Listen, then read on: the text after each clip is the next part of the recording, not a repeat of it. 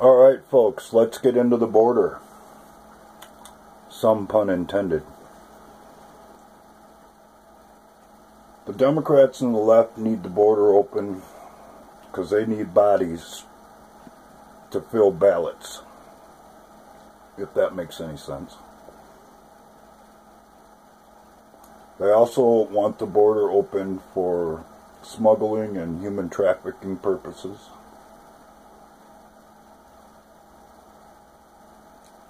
And there's one more reason too, but I'll be darned, it escapes me at the moment. Anyhow.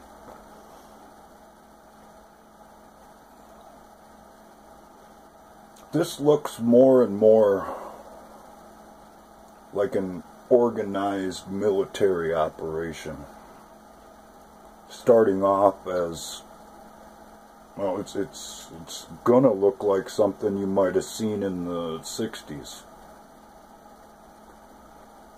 They're going to be waving flags around. They're going to be carrying banners with basically, well, moving memes is what they're going to be. You finally get to find out, figure out if uh, the left can meme or not, because this is their moment. But it looks almost like somebody with community activist experience has got their hands all over this. You cannot move these numbers of people in this fast. You can't move them without having huge logistical problems. I mean, look what's going on in Tijuana. It's it's a freaking madhouse. So it's organized. The question is, do they have a secondary plan once they start poking at the border. There's so much at stake, my guess is that they do. They're going to try to splinter people off and snake them through here and there wherever they can. And they're going to have safe houses to go to or whatever. And um, they're going to move them here, move them there. And whether or not they're going to have access to weapons, that's that's a whole other issue. But they got to have them in here, and they'll take as many as they can get. And they quite literally, they they don't even care if people die in the process.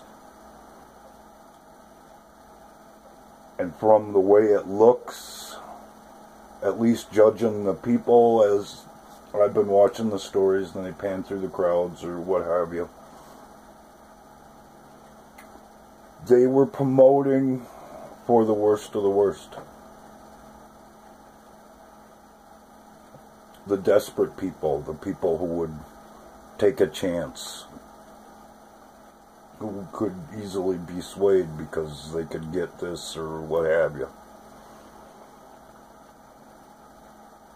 And that makes the situation really dangerous. I suppose I gotta end it like this. The anybody who thinks we should have open borders is crazy, and I can prove it. If a complete stranger came up to your house, started banging on the door, and said, You have to let me in, and you don't know this person, you don't know their background, you don't know where they've been, you don't know if they're sick, you're going to let them in your house? This is our house, and we best to run it correctly. Take care, guys.